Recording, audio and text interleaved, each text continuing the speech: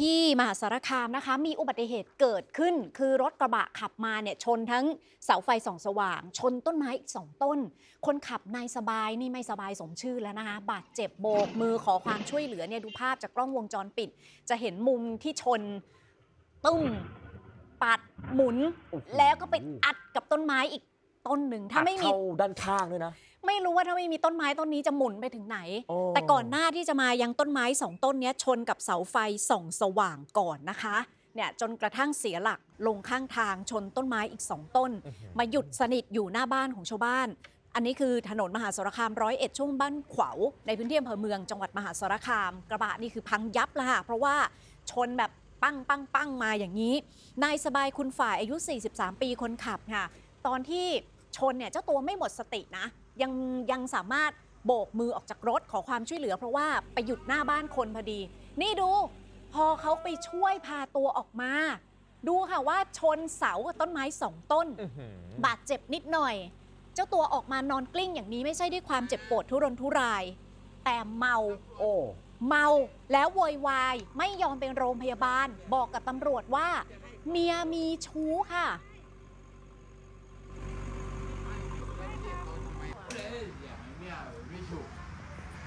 เหยียดอย่างเงี้ยเหยียดอย่างเงี้ยเป็นเด็กก็ครับเหยียดอย่างเงี้ยเฮ็ดเฮ็ดหยังก็ครับ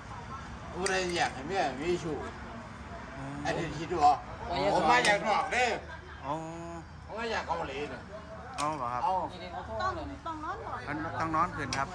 ผมมาจากเกาหลีอะเราเสียผมเอาเมียผมมีชู้เราเสียผมดีใจว่าไอ้ที่ผม ไม่อยากว่าว่าอันนี้เจ้าเป็นแฟนคนขับรถบ่ได้เอาอีเย่ผมไม่อยากว่าเจ้าอยู่บ้านไหนเข้าใจไหมว่าเข้าใจครับ เข้าใจครับเออเข้าใจบอเอ่อเท่าที่จับใจความได้คือเพิ่งจะกลับมาจากเกาหลีอ่าแล้วกลับมาเนี่ยภรรยาก็ไปมีผู้ชายอื่นอ่าอะตรวจวัดเป็นยังไงเอ่ย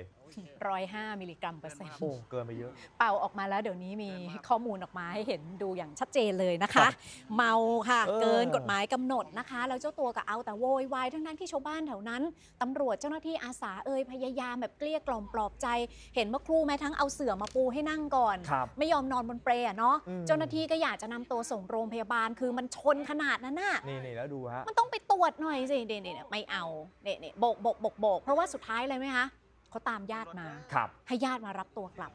เออแต่เนื่องจากเจ้าตัวเมาแอขนาดนี้เนี่ย ทางตำรวจบอกว่าเดี๋ยวจะต้องเรียกตัวมาดำเนินคดีต่อละไอ้ข้อหาเมาแล้วขับเนี่ยอันเนี้ยโดนแน่แต่รถอะซ่อมยาว ๆ ใช่ และไอ้เสาไฟต้นแรกที่ไปชนเสียหายอะไรยังไงมันเป็นทรัพย์สินราชการต้องไปชดใช้กันอีกนะคะ ครับ ถูกต้องฮะ อืม ต้นหนึ่งก็เกือบเกือบแสนนะ โอ้โหโอ้โหนี่ โอ้ย เออ แต่รอดตายก็ถือว่าดีแล้วนะครับ เพราะว่าค่ะ ชนแรงจริงๆ